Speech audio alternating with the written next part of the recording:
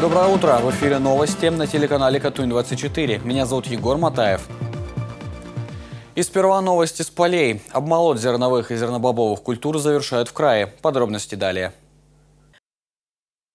94% площадей зерновых и зернобобовых обмолочено в Алтайском крае. Всего уборка завершена в 14 районах. Лидер Ключевский район, там обмолочено 78 тысяч гектаров. На втором месте Кулундинский – 74 тысячи гектаров. И закрывает тройку лидеров Троицкий район с результатом 68 тысяч гектаров. Крыша, которую не снесет ураганом. На одном из домов Новоалтайска ремонтируют кровлю с использованием высококачественных материалов. Как уверяет подрядчик, она увеличит срок эксплуатации кровли. Он будет минимум 50 лет.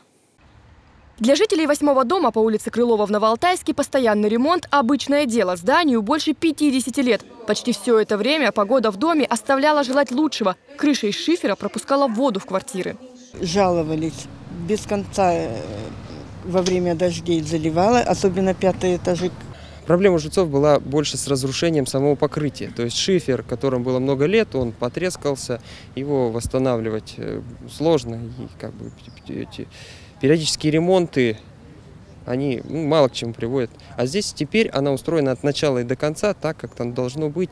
Жильцы обратились в фонд капитального ремонта, и теперь на доме красуется новая скатная кровля. Ее стоимость 3 миллиона рублей. Все материалы высокого качества. Есть утеплитель, что актуально перед предстоящими заморозками. Металл 0,7 э, толщиной, э, деревянные конструкции все обработанные огнебиозащитной, с огнебиозащитным составом что тоже характерно. Будет в зимних условиях обслуживание гораздо удобнее для управляющей компании. На сегодняшний день в Алтайском крае регоператор выполнил работы более чем на 220 объектах, а по плану текущего года капитальный ремонт предстоит выполнить на 300 домах. Евгения Князева, Вадим Слюсарев, Антон Червяков. Новости.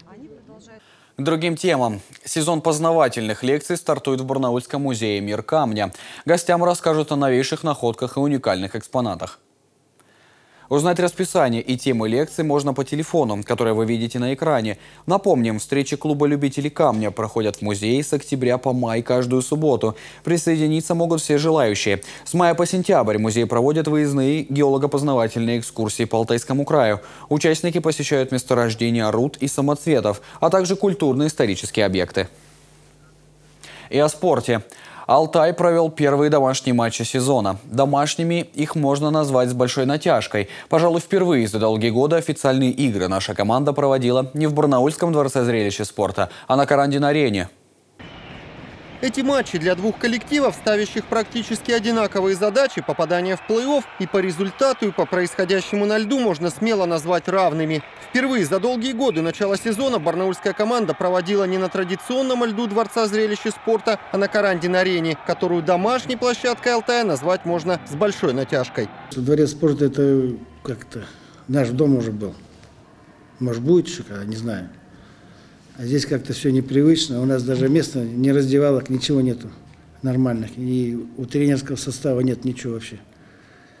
Я не знаю, кто вам сказал, что тут лед хороший. Лед зависит от игры игрока. Он может сказать хороший, а может сказать плохой. Быть может, поэтому в первой встрече между соперниками хоккеисты Алтая чувствовали себя на льду в некоторых эпизодах явно не в своей тарелке. Как будто игра проходила не в Барнауле, а где-то за пределами нашего региона. Другие стекла, другие борта и отскок шайбы. И самое главное, непривычный лед. Скорее всего, по этим причинам в стартовой встрече команда Андрея Соловьева уступила сопернику, пропустив единственную шайбу в матче в середине первого периода от Евгения Кириллова 0-1. На следующий день в течение двух отрезков игры оппоненты не могли распечатать ворота друг друга. Лишь в начале третьей 20-минутки Александр Складниченко вывел гостей вперед. Но Андрей Локтев уравнял цифры на табло 1-1. Основное дополнительное время завершилось таким же счетом. А в серии булитов Алтай был удачливее. Победный бросок в игре нанес Кирилл Гай. 2-1 победа барнаульских хоккеистов. Две тяжелых игры. Во вчерашней игре удалось одержать победу волевую, за что я ребят поблагодарил. Не все получается у нас в игровом плане, в тактическом плане, но тем не менее я очень доволен самоотдачей всей команды за эти две игры. Сегодня тоже старались, там, э, бились, но упустили преимущество за счет удалений, ну, поэтому сегодня проиграли.